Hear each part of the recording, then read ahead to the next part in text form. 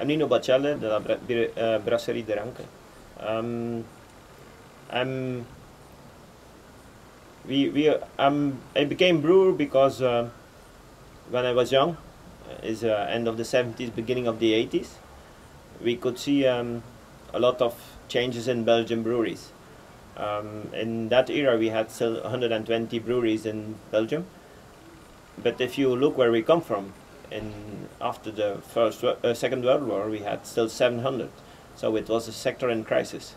And as uh, beer lovers, then we were not brewers at that in that era. We were just beer lovers, and we could see in uh, if we visited these breweries, we could see two kind of breweries: the bigger ones who became more industrial, and then we could still see the remainings of the the old-fashioned breweries that was owners of 70 or 75, 80 years old. The kids were not interested in the brewery, but sometimes we could drink the best beer there. And we say, why? Why is there such a difference between a, a, a good beer and a small old-fashioned brewery and then an industrial uh, beer? And little by little, we learned what is the differences. And these these guys still worked with whole hops, whole hop flowers, uh, not filtering the beer, not pasteurizing the beer. The only thing, the the equipment was very old, so sometimes the quality was not very stable because of the the quality of the, the equipment was not good.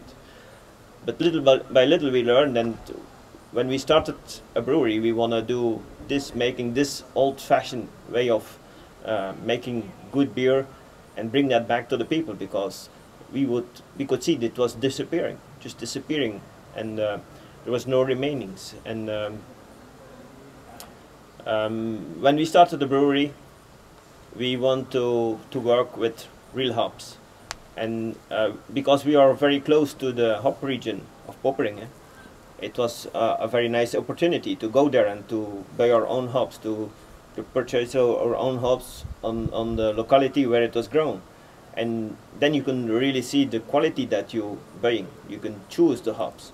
Because if you buy pellets or extract for putting in your beer, it comes from a, a factory.